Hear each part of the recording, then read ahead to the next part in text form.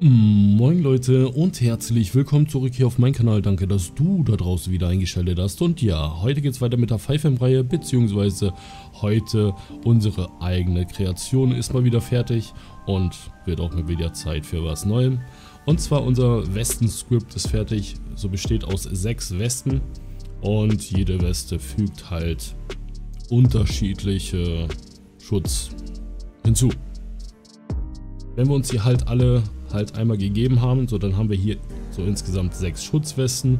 So fängt halt an mit 10%, 15%, 25, 50, 75 und 100. Somit habt ihr die Auswahl zwischen sechs ganze Westen. Wenn wir die jetzt anziehen, dann sieht das Ganze wie folgt aus. Zack, ist die Weste auch dran.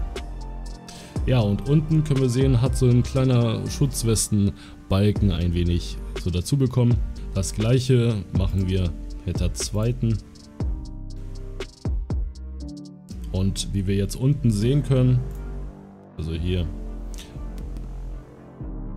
kriegen wir natürlich etwas Weste so dazu. So das heißt, wenn wir jetzt die dritte Weste uns reinziehen, dann füllt sich das Ganze auch ein wenig auf und wenn wir jetzt Weste 5 uns anziehen und zu guter Letzt Weste 6 ist dann komplett full.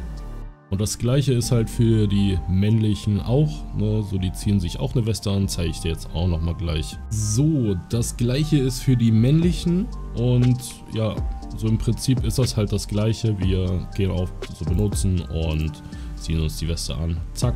Ne? Und dann haben wir auch hier eine schöne Weste an. Und auch hier fühlt sich auch so der Schutzwestenbalken oder die Leiste, je nachdem, je nach Weste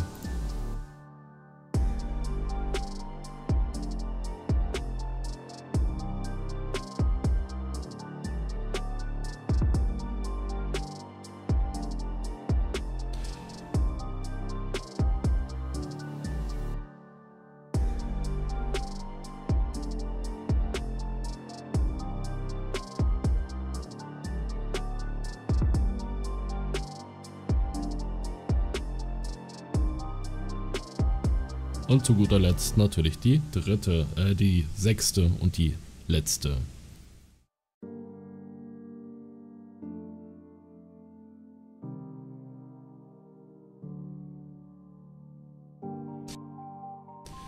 So, kommen wir auch zur Installation, so die ist wieder kinderleicht. Wir laden uns das Skript runter, dann müssen wir das Ganze auspacken und dann kopieren wir uns hier schon mal den Ordnernamen raus, gehen in den Resource-Ordner und ziehen diesen Ordner in den Resource-Ordner. Wenn wir das gemacht haben, gehen wir zurück und gehen in die Server-TFG und müssen das Ganze hier nur noch starten. Speichern und quasi schon den Server neu starten. Jetzt müssen wir noch einmal in diesen Ordner und hier findet ihr die ganzen Westen als Item drin. Diese SQL einfach ausführen, in die Datenbank laden und den Server neu starten und ihr könnt genießen und benutzen. Gut Leute, falls euch das Video soweit gefallen haben sollte, dann lasst doch wie immer einen Daumen nach oben da, kommentieren, abonnieren nicht vergessen und wir sehen uns in der nächsten Folge wieder. Haut da rein und ciao ciao. to fake this If you wanna play tough and wanna hate this I'll always show up.